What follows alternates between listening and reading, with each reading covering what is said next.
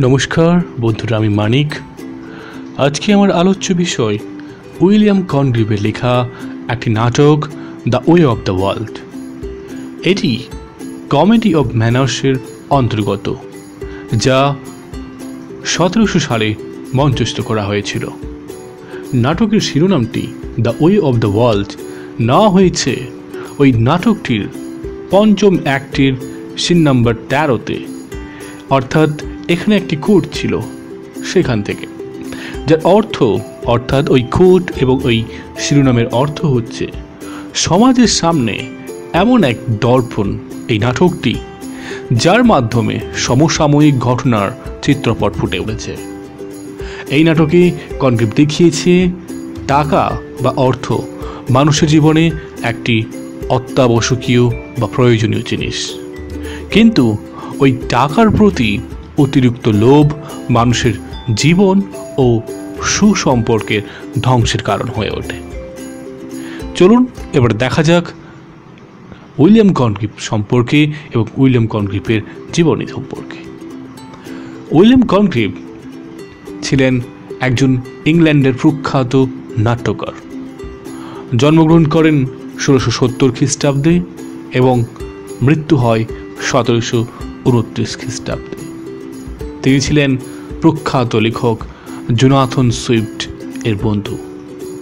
লেখক জীবনে তার পদর্পণ হয়েছে ক্লেওফিল নামে ছদ্মনামে।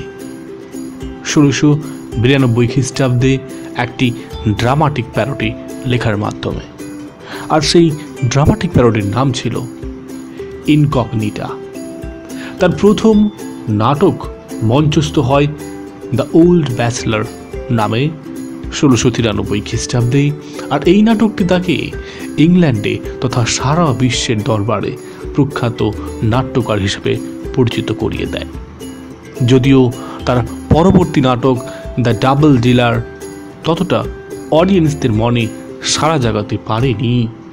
তবে তার তৃতীয় নাটক লাভ ফর লাভ আগের সুনাম পুনরায় ফিরিয়ে আনতে সক্ষম হয়েছিল। কিন্তু তার the way of the world বিশ্ব নাট্য জগতের দরবারে সবথেকে বেশি চর্চিত এবং এক নতুন স্বাদের সম্ভার করে দিয়েছিল। অনুমান করা যায় কনগ্রিভ তার নাট্য সাহিত্যের আকস্মাত সমাপ্তি ঘটে, যখন ইংল্যান্ডের একজন সমালোচক নাম জেরোমি কলিয়ার তিনি একটি পত্র প্রকাশ করে, যেখানে কনগ্রিভ ও তার সমসাময়িক লেখকদের তীব্রভাবে সমালোচনা করা হয়। আর সেই পত্রটির নাম ছিল a short view of the immorality and profaneness of the English stage আর তারপর তিনি নাটক লেখা থেকে হাত গুছিয়ে নেন এবং মনোনিবেশ করেন কবিতা এবং কিছু স্কলারলি আর্টিকেল লেখার মধ্য দিয়ে। এবার আমরা নাটকটির প্রসঙ্গে যাব। এই নাটকটির প্রসঙ্গে আমাদেরকে দুটি কথা বা দুটি ঘটনাবহুল আমাদের মাথায় কিন্তু গেঁথে নিতে হবে।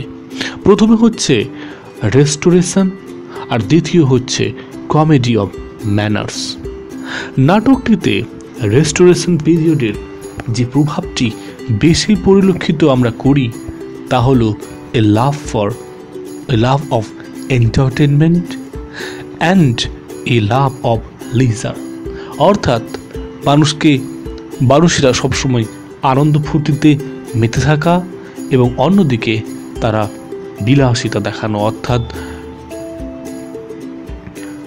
ফাঁকায় ছুটি কাটানোর মতো খানিকটা। আসলে এই দুটি গুণ, যেটি কিং চার্লস সেকেন্ড ফ্রান্স থেকে ইংল্যান্ডে নিয়ে আসে তার রেস্টোরেশনের সময়। আর এগুলি আমরা এই নাটকে খুবই পরিষ্কারভাবে লক্ষ্য করতে পারব। এখানে আপার ক্লাস মানুষের জীবন ধর্মীকে আমরা দেখেছি ব্যঙ্গ করতে। আর তার জন্য নাটকটি সর্বকালের সর্বোৎকৃষ্ট কমেডি অফ এরোস নামে। অর্থাৎ নাটকের উদাহরণ হিসাবে, প্রকৃষ্ট হিসাবে এই আমরা এই উদাহরণটাকে, অর্থাৎ এই ওয়েটিং সরে দ্য ওয়ে অফ দ্য ওয়ার্ল্ডকে তুলে ধরতে পারি। কমেডি অফ ম্যানার্স নাটকে আমরা লক্ষ্য করে থাকি উইথি ডায়ালগ যা চরিত্রগুলির শারীরিক ভঙ্গিমা থেকে অধিক রোমাঞ্চকর। অর্থাৎ আপনাদের নিশ্চয়ই মনে থাকবে, যখন এলিজাবেথন এজের পর জেকোবিয়ান এজে এক ধরনের নাটক লেখা হতো।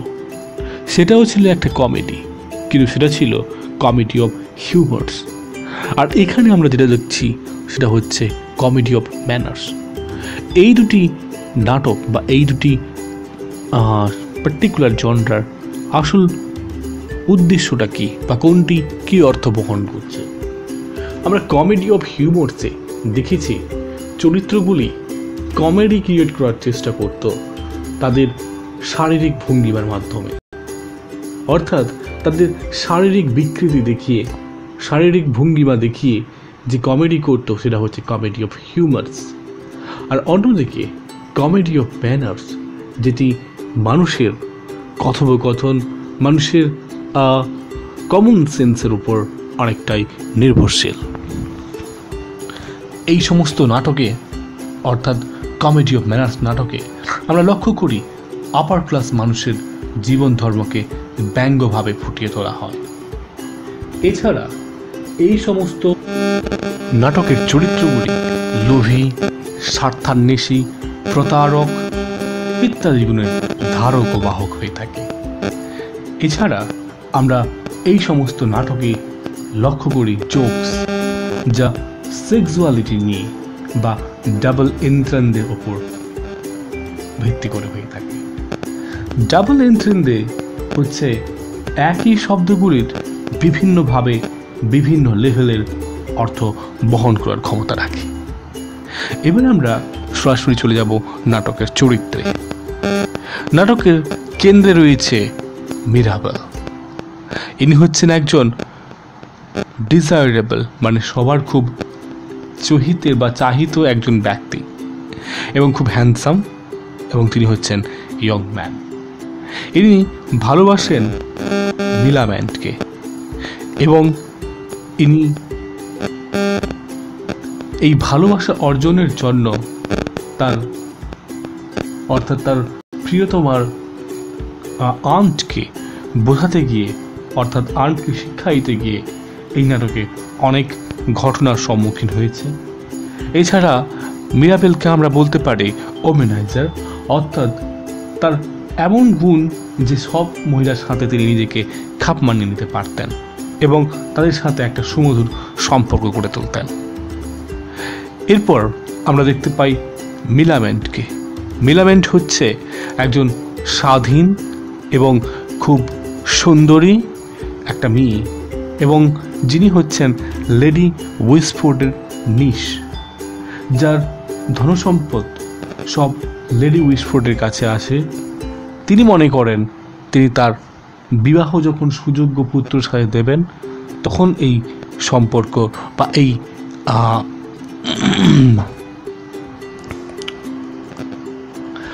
তার যে বিলামেন্টের যে যে সম্পত্তি রয়েছে, তার স্বামী তার উত্তরাধিকারী হবে।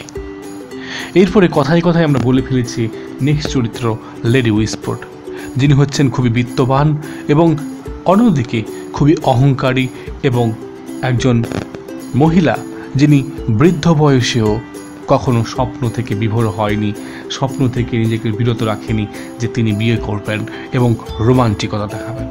তো একটা ফপিস কাইন্ড অফ চরিত্র হচ্ছে লেডি উইসফোর্ড তারপরে রয়েছে মিসেস মারউড মিসেস মারউড ইনি হচ্ছেন লেডি উইসফোর্ডের একজন অবিশ্বস্ত বান্ধবী বা সাথী বলতে পারি। যার সাথে ফেইনল, অর্থাৎ লেডি উইসফোর্ডের জামাতা ফেইনল, তার সাথে একটি অবৈধ সম্পর্ক রয়েছে। যদিও আমরা জানি মিসেস মারুট ফেনলের সাথে মিরোবেলের এগেনস্টে ষড়যন্ত্র করে। তারপরে নেক্সট চরিত্র হচ্ছে ফেনল ফেনল হচ্ছে অফকোর্স লেডি উইসফোর্ডের জামাতা। তার পাশাপাশি ইনি হচ্ছেন এই নায়কের মূল খলনায়ক এবং তিনি হচ্ছেন ভিলেন তারপরে। মিসেস ফেনল, যিনি হচ্ছেন লেডি উইসফোর্ডের কন্যা এবং ফেনলের পত্নী বা স্ত্রী। ইনি খুব কাইন্ড হার্টেড ইনি মিরাবেলকে খুব কাছের মনে করতেন এবং দুজনের মধ্যে একটা রোমান্টিক রিলেশনও ছিল। এর পাশাপাশি আরেকটি চরিত্র আমরা পাবো গুরুত্বপূর্ণ, সেটা হচ্ছে স্যার ওয়েলফুল যিনি হচ্ছেন লেডি উইসফোর্ডের একজন পরিচিত, যিনি আদবে খুবই মাতাল একজন। এর পাশাপাশি আমরা কিছু চরিত্র পাই, যেরকম রয়েছে ওয়েট ওয়েল যিনি ছিলেন মিরাবেলের সার্ভেন্ট। এছাড়া আমরা দেখি ফয়ভেল এবং মিনসিং নামে অনেক মেড সার্ভেন্টকেও। তো এইভাবে মোটামুটি চরিত্র। আমরা এইবারে নাটকে চলে যাব। এই নাটকটিতে মোট পাঁচটি অ্যাক্ট রয়েছে এবং এখানে সম্পূর্ণভাবে পঁয়ষট্টিটি সিনস রয়েছে। নাটকটি সূচনা এবারে।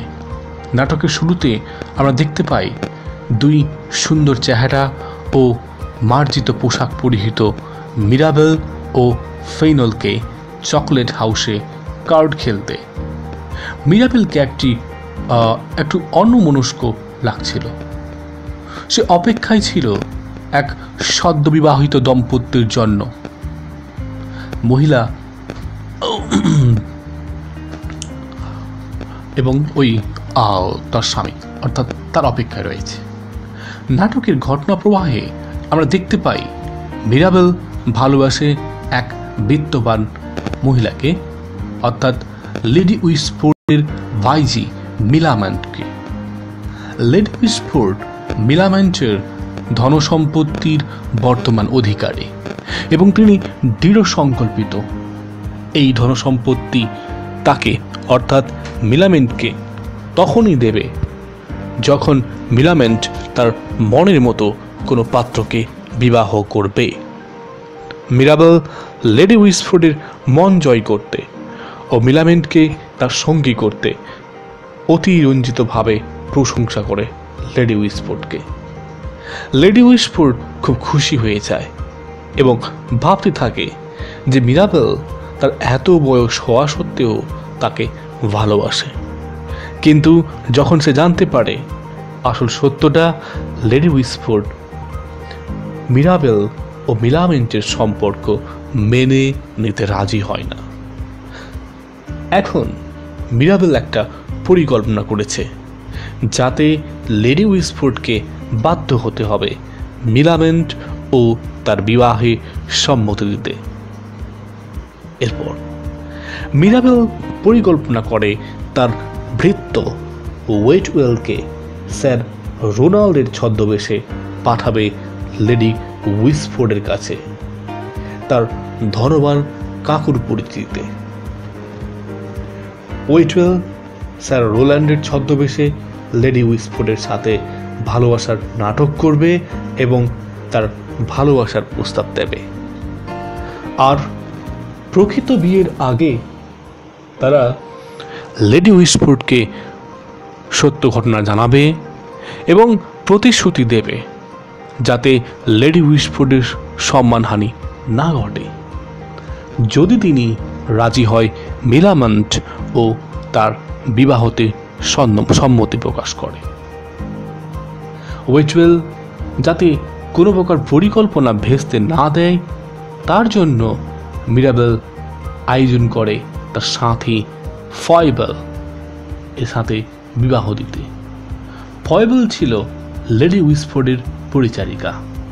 আর এর মাধ্যমে মিরাবেল সক্ষম হবে দুদিক থেকে তার পরিকল্পনা শিখরে পৌঁছতে।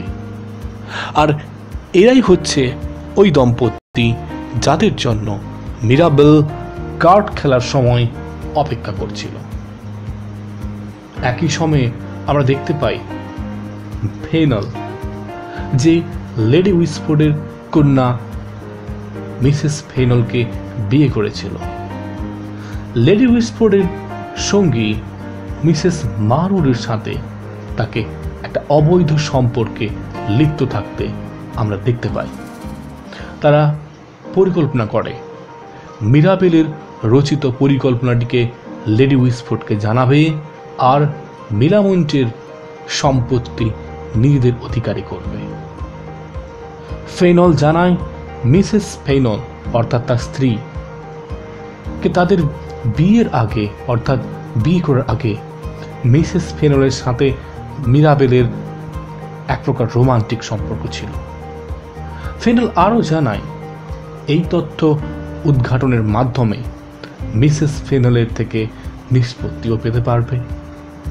তার সাথে সাথে লেডি উইসফোর্ডের নাম যশ নিয়ে তার সাথে ব্ল্যাকমেলও করতে পারবে।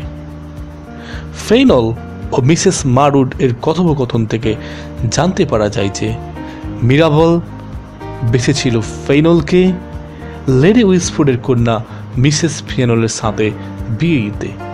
আর তার কারণ, মিসেস ফেনল ও বিরাবেলের প্রেম নিবেদনে সে ছিল অন্তঃসত্ত্বা আর তা থেকে রক্ষা পাওয়ার জন্য এই বিবাহ। ফেনল আরও বলতে থাকে, এমনকি তাদের বিবাহ হয়ে যাওয়ার পরেও মিসেস ফেনল এবং মিরাবেল একে অপরের কাছের বন্ধু। ওই দিন বিকালবেলা মিরাবেল মিলামেন্টের সাথে সাক্ষাৎ করতে যায়। তাকে তার প্রেম নিবেদন করে। মিলামেন্ট প্রেম নিবেদনে রাজি হয়। যদিও লেডি উইসফোর্ড আয়োজন করেছিল তার মাতাল কাজিন স্যার উইলফুলের সাথে তাকে বিয়ে দিতে। তারপর স্যার রোলান্ড আসে অর্থাৎ ওয়েটওয়েল ছদ্মবেশে আসে হাজির হয় লেডি উইসফোর্ডের বাড়িতে। যদিও লেডি উইসফোর্ড পরিকল্পনা করেছিল তাকে স্বাগত জানাতে তার ভাইজির বাগদত্তা হিসেবে। কিন্তু স্যার রোল্যান্ড তার প্রতি আগ্রহ প্রকাশ করায় তিনি নিজেই কাবু হয়ে যায়। মিরাবেলের বাড়িতে আড়িবেতে তাদের পরিকল্পনা ও মিসেস ফেনলের উপর বেশ কয়েকদিন গোয়েন্দাগিরি করছিল মিসেস মারুট ও ফেনল। তো যখন এই গোয়েন্দাতে এবং এই পরিকল্পনাতে আড়ি পাতাতে সফল হয়, মিসেস ফেইনল এবং মিরাবেলের বিরুদ্ধে মিসেস মারুট এবং লেডি হুইসফোর্ড প্রস্তুত হয়ে যায়। এবং রওনা হয় লেডি উইসফোর্ডের বাড়িতে। সবার সামনে তারা তুলে ধরবে সত্যটা এবং অপমানিত করতে হবে এবং করবে সবাই সবাইকে। প্রথমে মনে হয় তাদের পরিকল্পনা সত্যিই সফল হয়েছে। ফেনল, স্যার রোনাল্ডের আসল পরিচিতি সবাইকে জানায়। আর তাতে লেডি উইসফোর্ড সত্যিই খুব ভেঙে পড়েন। তারপর ফেনল। তার স্ত্রী সাথে, মিরাবেলের সাথে বিয়ের আগে ও পরে রোমান্সের কথা জানায় লেডি উইসফোর্ডকে এবং হুমকি দিতে থাকে তার স্ত্রীর সাথে সম্পর্কের গণ্ডি কাটবে এবং তাদের সমস্ত সম্মান মাটিতে লুটিয়ে দেবে। যদি না লেডি উইসফোর্ড তার সমস্ত সম্পত্তি, তার কন্যা মিসেস ফেইনল এবং মিরামিন্টের ধনসম্পত্তি সব তার নামে হস্তান্তরিত না করে। যখন লেডি উইসফোর্ড কি সিদ্ধান্ত নেবে স্থির করতে থাকে, মিলামেন্ট গোপনে স্যার উইলফুলকে বিবাহ করতে রাজি হয়ে যায়। তার শুধুমাত্র লক্ষ্য ছিল তার নিজের সম্পত্তি রক্ষা করা। মিরাবেল একটা নতুন পরিকল্পনা করে, যার সাহায্যে সে মিলামেন্টকে নিজের করতে পারবে। আর তার জন্য সে সাহায্য নেয় ফয়বেল এবং মিনসিংয়ের। এরা দুজনই পরিচারিকা ছিল, যারা লক্ষ্য করেছিল ফেনল ও মিসেস মারুডের ওই অবৈধ সম্পর্ক।